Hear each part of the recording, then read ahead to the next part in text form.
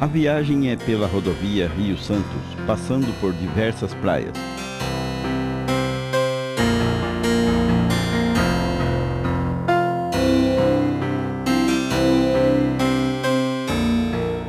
No caminho, o artesanato em madeira chama a atenção.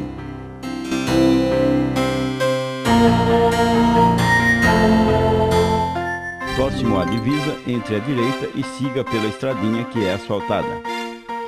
As belezas continuam cada vez mais bonitas.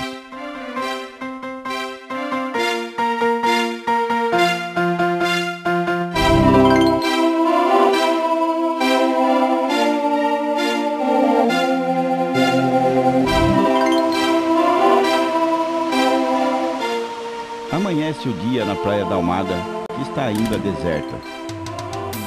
Surfistas passam em direção à Praia Brava e o vendedor oferece farinha e banana.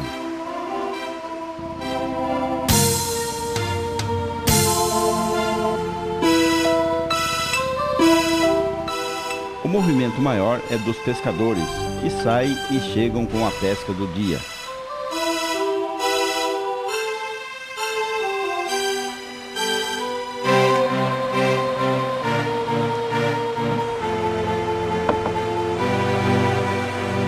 Um deles consegue pescar a tainha, de onde virá a ova, considerada o caviar do caiçara.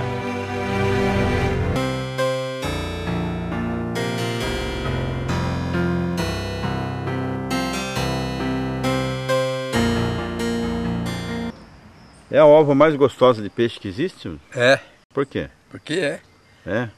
É o tainha. O senhor sempre comeu isso aqui? Já, há muito tempo. É? Mas não é um negócio muito caro? Não vende, não? Ah, assim, li- limpo assim para vender assim é caro. E come- ela seca, faz ela seca também ou não? Faz Como é que seca ela? no sol, saga e bota no sol. Só. Depois de seco, como é que come? Frita. Assado com café também.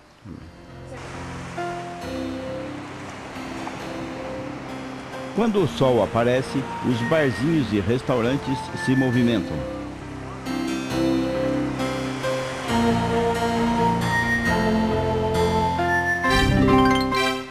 Os turistas chegam em potentes lanchas para aproveitar a calmaria.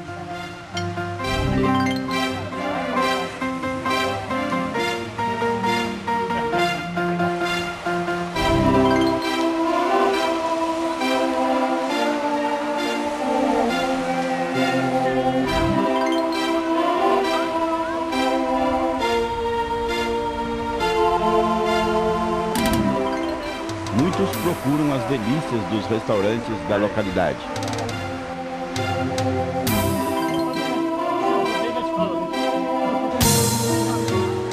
A Praia da Almada, onde param os turistas de hoje, tem seu nome nas paradas dos antigos viajantes. Almada, de acordo com uma pesquisa feita por um amigo nosso, Clementino, tem origem eh, na palavra almadia. Almadia quer dizer eh, lugar eh, seguro eh, de parada de barcos.